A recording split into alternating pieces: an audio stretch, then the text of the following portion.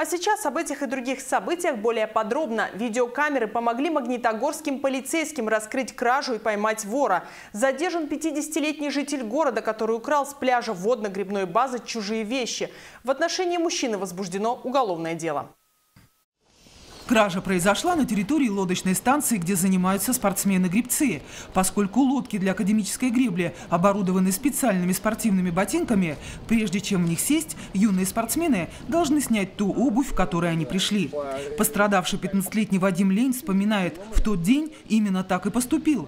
Перед выходом на воду снял кроссовки и оставил их на пирсе. Да, я всегда так делал. Кроссовки не сильно дорогие, обычные беговые Nike. Купили года два назад, э, поэтому ничего такого. А ты удивился, что они кому-то понадобились? Конечно, удивился. За два года никому не были интересны, тут бац и все. Когда Вадим увидел, что кроссовки пропали, он сообщил об этом маме. Она тут же позвонила в полицию. Ее представители, в свою очередь, связались с охраной парка Лукоморья, где расположена водно-грибная база. Благодаря слаженным действиям по камерам видеонаблюдения, установленным по всей территории парка, похититель кроссовок был обнаружен уже через полчаса. Мы, отреагировав, а, начали поиски, патрулирование по данному парку Лукоморья и по описаниям задержали. Далеко не успел уйти, он гулял также по парку, зона отдыха Лукоморья.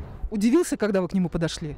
Он хотел скрыться. Мы его догнали, задержали, начали допрашивать, увидели данные кроссовки у него в руках. Подозреваемым в совершении кражи оказался 50-летний магнитогорец. Э, на сегодняшний день возбуждено уголовное дело по статье 158. На данный момент ему избрана мера принуждения в виде обязательства о явке. Кроссовки были возвращены законному владельцу. Конечно, очень сильно рад. Не ожидал, что вообще так быстро вернуть кроссовки. С приходом летнего сезона хочется обратиться к жителям нашего города и напомнить, что, конечно, если у вас есть какие-то ценные вещи, не оставляйте их без присмотра. А если вдруг оставляете, то, конечно, доверяйте тем людям, с которыми вы в хороших отношениях, чтобы они могли присмотреть. Э, я думаю, что, наверное, ну, не стоит брать с собой дорогостоящие телефоны. Можно на время, э, так скажем, получения солнечных ванн обойтись и без дорогостоящих гаджетов. Поэтому, конечно, самое главное – это бдительность. Татьяна Артеменко, Георгий Бадаев, телекомпания ТВИ.